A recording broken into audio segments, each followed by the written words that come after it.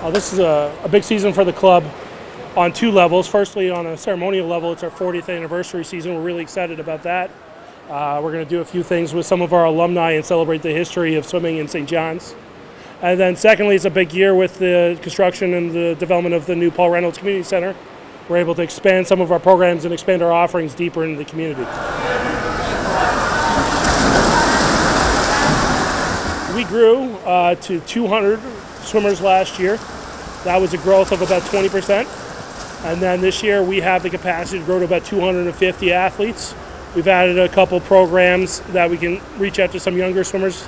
We have a program that we call our swim school that we're going to run exclusively out of Paul Reynolds, which will help feed into our pre-competitive Little Legends program. And we're hoping for most of our growth to be on that novice level.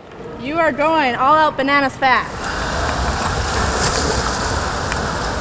We're looking at St. John's hopefully hosting the 2025 Canada Games, and the swimmers that are going to be eligible for those Canada Games are boys born in 2009 and later, girls born in 2010 and later. Those kids at six, seven, eight years old right now, that's when they're starting their swimming journey.